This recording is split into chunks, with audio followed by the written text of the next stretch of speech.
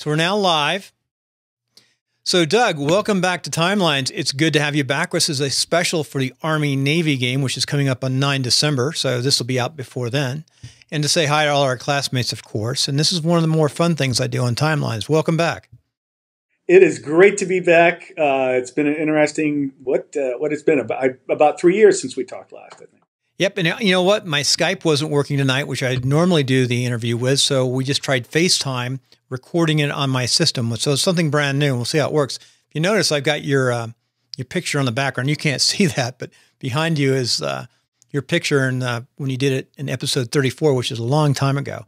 Hey, so what I want to talk about, first of all, a little bit about what you've been doing. It's really interesting, some advice you can give to the classmates and to other people, maybe with your similar background, getting out of the military and in the contracting world.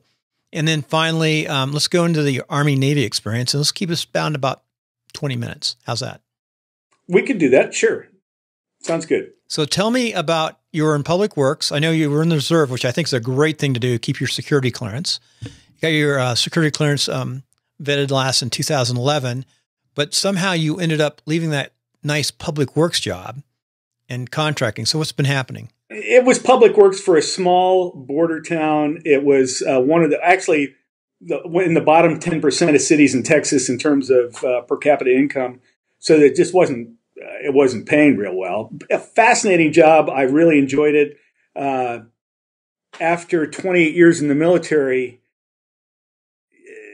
you know, the, the federal government is a system, has a system where everything is, is very well organized and laid out and you have a great safety, you know, plan and you, you have a procurement plan and, and policy and there's ways to keep track of fuel usage and, and everything. And a city, small city, just kind of grew up from a, from a farming community, didn't have a lot of that stuff. And so I was able to go in and make a difference. And that was really cool. Um, what I hated was small city politics. Oh, I can imagine. You know, I was a city councilman before 9 11 for six years. And we just had a discussion about that and about leadership too. I look back and we, we hired, we fired the first city manager and then hired the city council hired a new city manager. And I got to help on that. And he'd been a warrant officer in the army. And he was just a great city manager. And I think that we talked about the experience he had in the military, being able to relate and associate with him. So I think everyone liked him. He got along well, but he uh, executed with staff as well as the city council. I think a military background would be great for anybody in that kind of a role. Uh, I was actually in the running. I, I was the runner up for the city manager position uh, shortly before I left. Um, they actually hired uh, a lady who had been in the city her whole life and had a lot, honestly, to give her credit, probably had a lot more passion for for running things in the city than I would have, as much as I enjoyed it and as much as I thought I could have done a great job. Uh, she kind of came up through the HR role, and she was very good at what she did. Um, loves the city of Socorro, Texas, and is doing great. I, I, just wish her well. She beat me out for the job, but uh, uh, uh if you ever hear this, Andrea, just I, I, know you're going to do great. I know you are doing a great thing over there and I don't envy you that the, the politics I see going on. well, it's tough. One thing is, I think the average city manager lasts from about three to four years. So it's like your final job, but that's why you get paid the big bucks, and hopefully you get some money when you retire or get fired as city manager. yeah, yeah. Yeah, it's tough. It's a tough business. I think after I left, the city manager was actually fired, which he shouldn't have been. But that's just the way it goes. New city council comes in and right all right. those different things that was only one vote off you know it only takes like uh, seven city council members it takes four votes when i'm being the mayor it, it uh, it's a fact of american politics that nobody's ever satisfied uh, 100% yeah and so there's always a, a, faction that, that doesn't like whoever's in power right now and it, it you're going to move around so yeah. what have you been doing the last two years back to life uh, last year I, I, had a great job on the east coast uh, running a facilities management contract for homeland security um, that was interesting, but it was a small company and didn't really work out as a long term job. Uh, they moved me up and then they moved me to halftime, and, and that just wasn't paying the bills.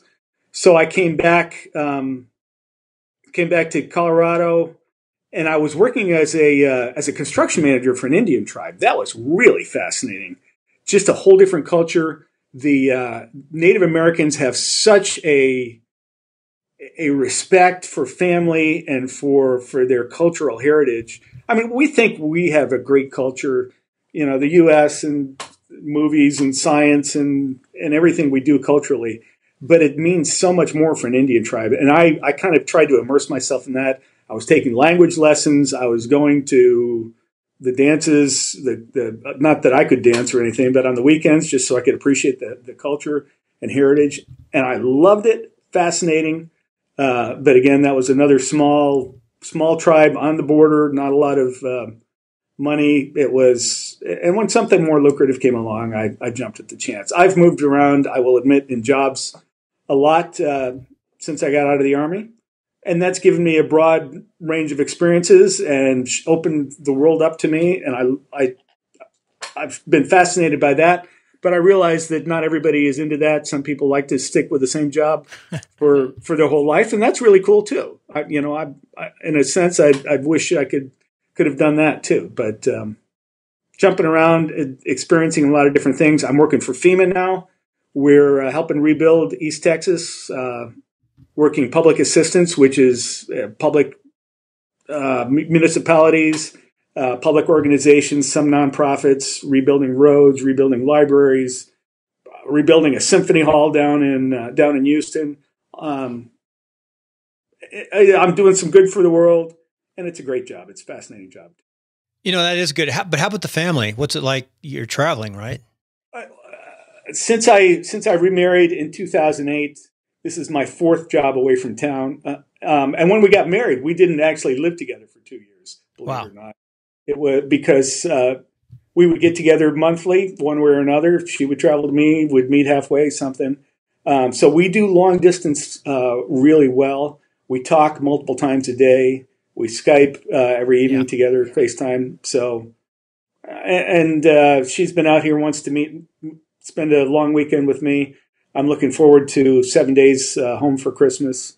We we do long distance pretty well. You know, we didn't used to have those things when we were young officers. Oh, gee. I was in Korea for a year, and I remember a phone call was seventeen dollars. One of them. Uh, uh, just about the same calling home from from Germany. Yeah. So yeah. I remember those days. Yeah, or or waiting, you know, uh, ten days for a letter. Yeah, my son is a lieutenant in the Coast Guard in Puerto Rico, and he got married uh, about six months ago and they evacuated all the dependents. And he was just complaining about not being able to see her and all the different oh, issues. Yeah. Coming back to the island, and I said, "Now you got Skype, you got phone calls." My, you know, your mom and I were gone so many times. And I went back in the army for five years. And I was at Leavenworth, and they stayed back in California, so I can relate back in the army after your Air Force time? Yeah, I did Army, Army Nine, and then Air National Guard, and then uh, back in the Army trying to finish up my active duty. And I loved it. I went back in civil affairs. I love civil affairs. It was a perfect fit. I was still aviation branch because they wouldn't let me out of aviation branch, but I was controlled by civil affairs. Fascinating. I yeah. loved it. I loved civil affairs. It was it was it was engineering and just working with the people and the government. It was just uh, uh, mostly of Afghanistan. And I went. Most of my reserve time was in the uh, was in a training unit, but civil affairs was my second choice. Oh, I loved it. If you can get, I, if I had to do it again, uh, I would have as soon as I got active duty. I probably would have stayed on active duty as in the one sixtieth, but I would have definitely got into civil affairs a lot sooner. I, I like the Air National Guard. I like the Air Force, but it was just really good to be back in the Army and especially civil affairs.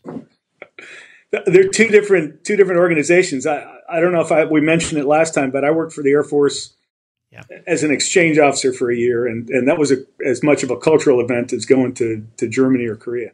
Hey, before we go on to talk about the Army Navy game, one little bit of advice. What advice do you have to some of our classmates who are retired now, either retired from the Army or they've done a combination like I have?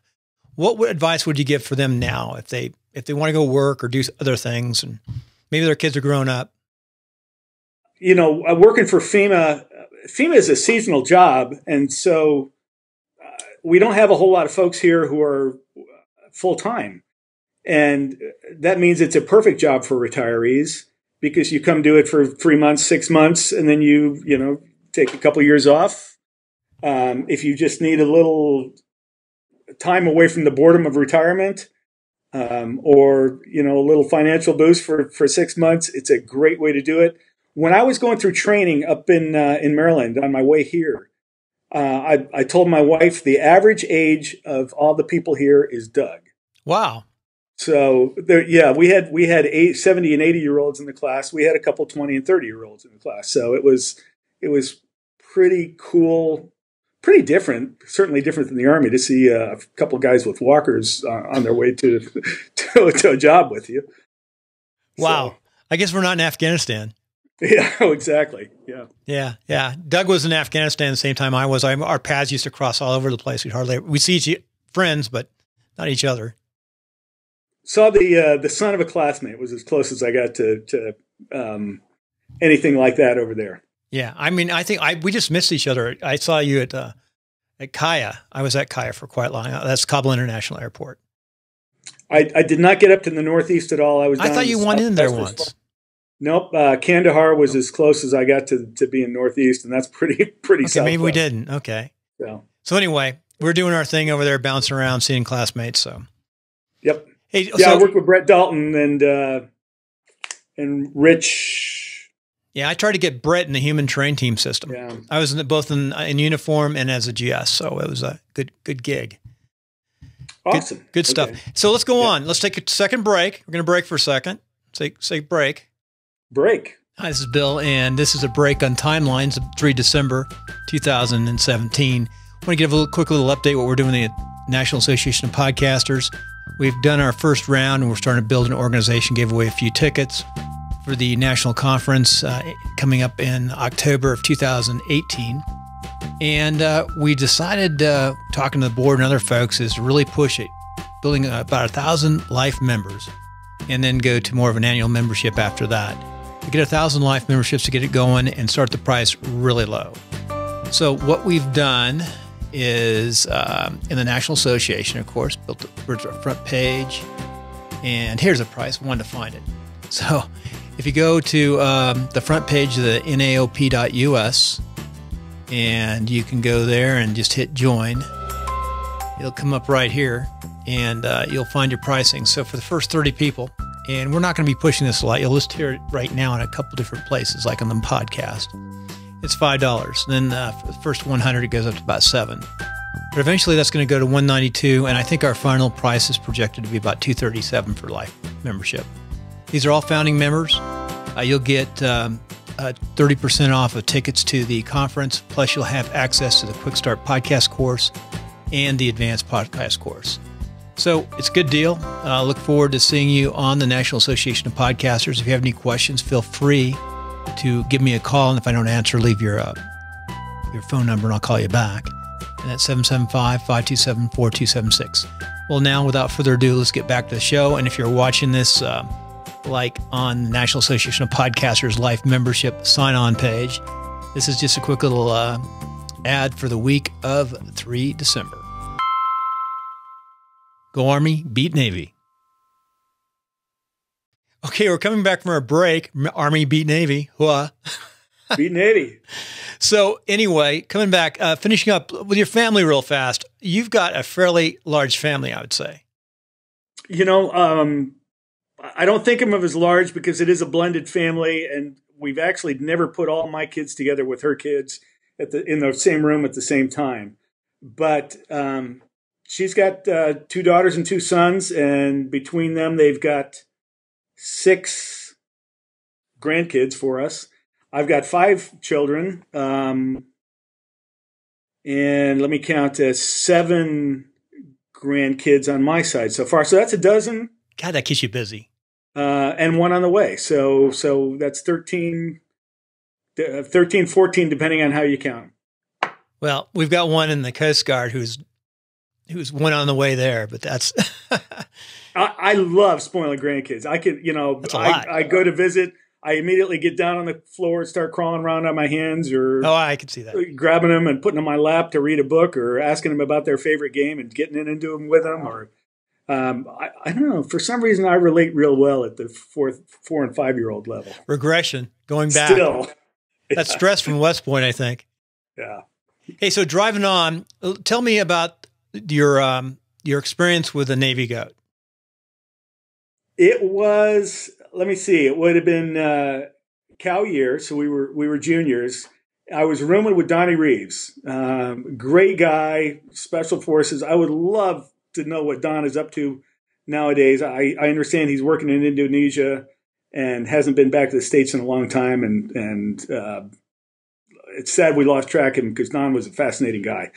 Uh, but he pulled me into my room and checked for bugs, and I'm going, Don, what are you doing?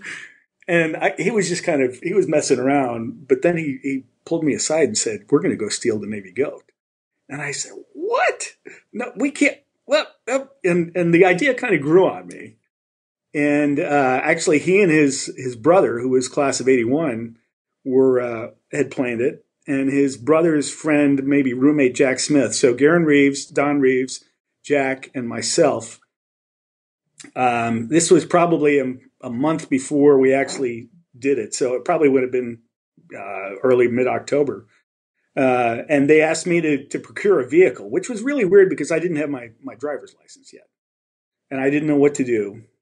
Um, but as it got closer and closer, I, I knew I was on the, the, academy wrestling team. Never wrestled a varsity match, but I was on the team for, for four years, and so I knew coach had a had a good, reliable, beat up old pickup truck. Awesome. There you go. and you got a you got a gymnast in the family too. I mean, yeah, yeah. Pretty awesome. We, are um, a pretty active family. There you go. Um, so yeah, coach had a had a truck. Uh, a couple days before the big weekend when we were headed headed south to Annapolis, I said, "Hey, coach, we're moving some stuff this weekend. Is there any way, you know, I could borrow your truck for the weekend?" I didn't mention I didn't have a driver's license. That's a good story in itself that you never got your driver's license until what so, your senior year. I was, you know, to get into West Point, you had to be really active in sports and stuff, and I was just too busy doing everything else to to get a license. I drove tractor on the farm since I was eight years old, you know, but and I could drive just fine. Just never got around to to doing it uh, until it came time to get my first e car, and then of course it became a priority. Anyway, um, so eh, the big weekend came. We all had put in for for passes so we could get out of there on uh, on Friday. Yeah, what was it? No, I, th- I think it was Saturday after class. We took off um, went down to the post engineer's office and signed out bolt cutters, thinking ahead there. Um, uh, Garen had bought a whole bunch of rope. Uh, we needed something for the road, and I convinced everybody we are just going to sub shop at the PX. Uh, bought eight subs, threw them behind the uh, seat in the truck, crammed four guys into the uh, into the front seat of a pickup truck, so it was a little tight.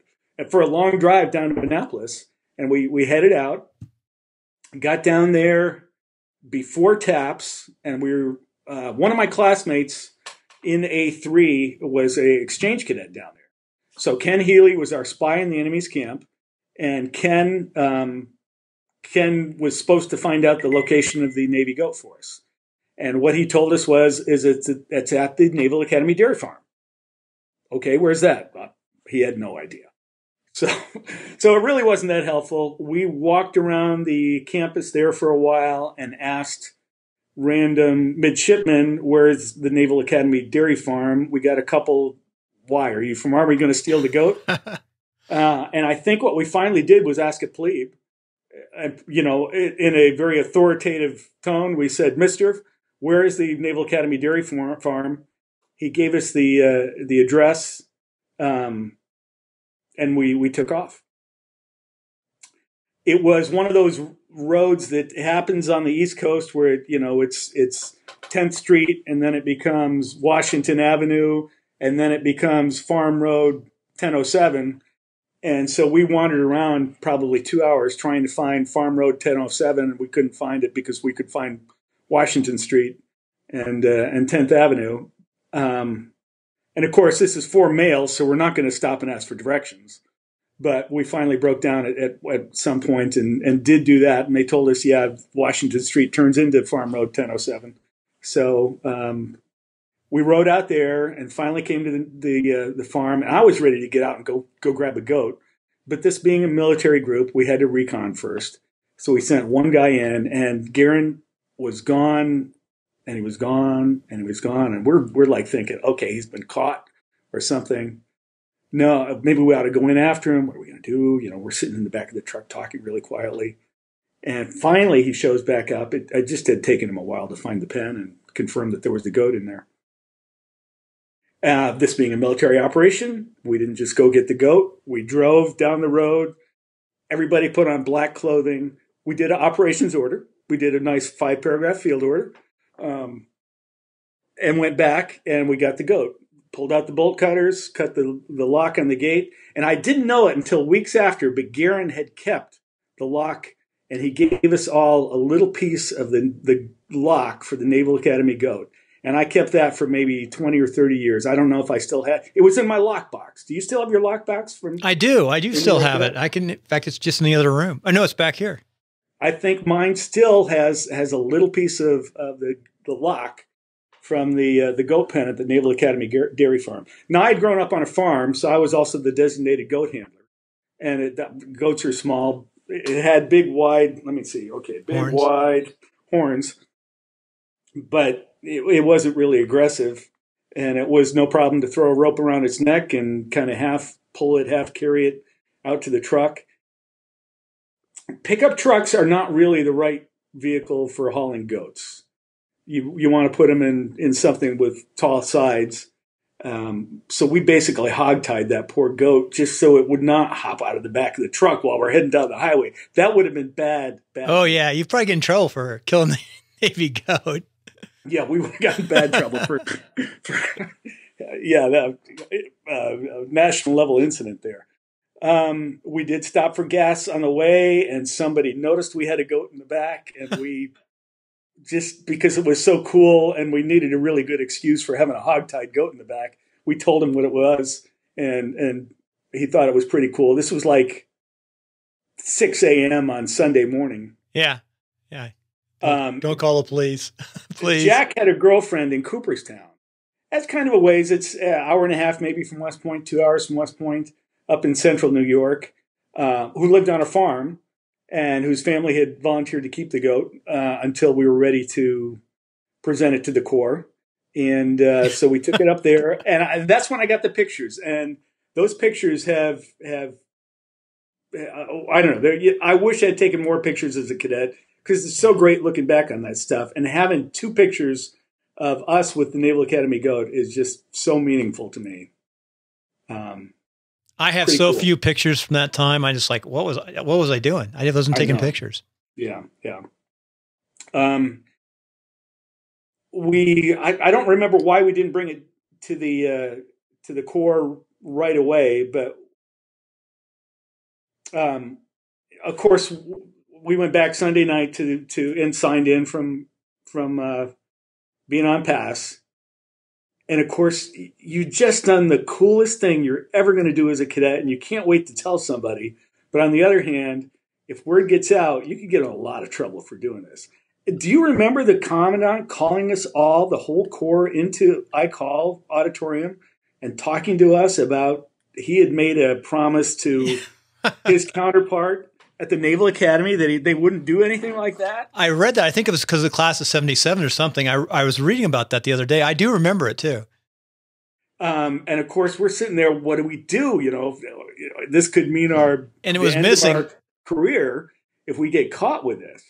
Well, the Navy goat was missing too. I, I think it's great that you made him sweat a little bit. The Navy.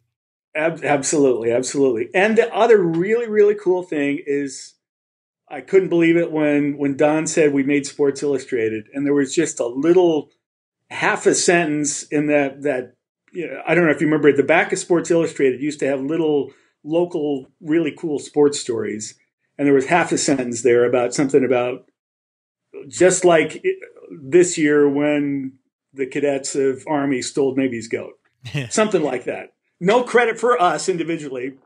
Nah, it's okay but it was still us. We knew it when we made Sports Illustrated. That was pretty cool. Um, Coach took a while to notice that we'd put over 700 miles on his truck to move some stuff over the weekend, and practice got pretty hard for me for a little while. Wrestling, but, uh, yeah. yeah. wrestling, yeah, yeah. Um, and then we we did. I don't remember what we did that first year. We did take it up on the poop deck, uh, show it to the Corps somehow, and this was shortly after that lecture from the commandant. So what we did was spirit the goat away again for a couple hours, and in the middle of the night, tied it in the commandant's backyard. So and he had to go. it was his problem getting it back to the Naval Academy. I have no idea how that happened, but the goat was on the field uh, during the, the Army Navy game. I don't remember whether we even won or lost that year. Do you? We won in '77. That's the only year we won. Not '77. Uh, our our yearling year. Yeah, yearling year. That would have been our 77. Yeah, yeah, it was 76. I think they sold a goat. I can't remember exactly when the. I think it was 76. They stole a goat. Hard to track at all, but it was 77 is the only year we won. I remember how cold it was, and I had core frames on. they actually went back and did it again the second year, but unfortunately, I was I was uh, on room con room confinement serving some kind of slug for something. I think I had lent my car as a firstie to a, a yearling who parked it in a really obvious stupid area, um, and so I got slugged for that, and of course he got slugged for it too. Um, Worst and I I was really worried that well I couldn't get it passed. That's what it was because I was serving room con. Um, As but they brought the goat. They brought brought the goat back and kept it. Yeah, as a first. Well, as, and since I was on Corps squad. Um, they brought the goat back, and I think they kept it in Garrison or one of the other closer towns that year. And I didn't go actually help steal the goat when I was a firstie, but I did uh, get to make the announcement when they put it on the poop deck. We brought it in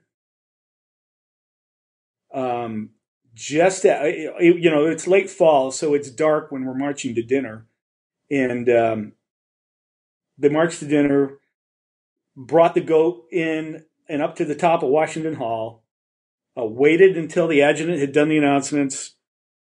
Then we uh, we snuck down. You can get you know to the poop deck from above in Washington Hall or from below uh, on the floor of the uh, the mess hall. We locked the door of the uh, leading out to the mess hall so that the brigade staff or OC couldn't come get us, and brought the goat down from the from the roof. Made the announcement, held up the goat. Uh, I made the announcement, ladies and gentlemen. The Corps of Cadets is proud to have as its guest for the evening meal the Navy goat. Ah! And, okay, hopefully I think I remember that like it was yesterday. That was really that was you know that was I, the I remember right where I was sitting, moment. where I was down like what the where the mural is. I was halfway down the mural area, looking up at you guys. And I think we ran over to the other side of the poop deck and held the goat up uh, there, and then ran Yeah. up to the uh, ran up to the to the top of Washington Hall, tied it on the roof, and I think that year we, you know, at about two a.m. tied the goat in the superintendent's backyard. it was his problem to get it back to Naval Academy. We didn't have to worry about that. We were a lot better at keeping quiet that second year. Um, but we know we did it, and and it was a it was the defining moment of our. I would have liked to seen good, General Goodpaster calling uh, the Naval Academy. We got something of yours. Oh yeah. Want to send Yeah. a boat up the Hudson? It was uh, uh, that so that was that was a fabulous fabulous time as a cadet that um, I did an awful lot of stuff I I, I like staying active still uh, you know I did I did musical things I did uh, I did a huge science project including a, a presentation in Carlisle um, but stealing the goat was was was pretty much the coolest thing you could do as a cadet so That's cool. That's a good story. So as we the ninth is coming up, that's good. Good to touch base with you, Doug. Let's make sure you get back on before like two or three years. Maybe I'll, oh yeah maybe I'll run into you. I've got a. I was going to say in closing. Well, in closing, you're doing a lot of neat stuff. We had a lot, great time. You know what? There were times at West Point that were pretty darn good, especially the last couple of oh years. absolutely I'd do it again. A lot. oh, I would too. I do a little differently. I wouldn't take Chinese though. so, hao. yeah, no, you know, no, Buju da- Dao. I, I haven't talked in a while. I, I Okay. put, I've worked, worked on my French though. So anyway, I appreciate it, Doug. I will, uh, will sign off. Don't leave. Uh, stay on for a second and let me shut Okay. this down. Hi, this is Bill, and thank you for listening to this episode of Timelines. If you could go right here and subscribe on YouTube, if you're watching on YouTube, of course, and watch a few more movies over here. And if you're listening to on iTunes, go ahead and subscribe. Appreciate it very much, rating and review. Till next time, take care and always make it a great day.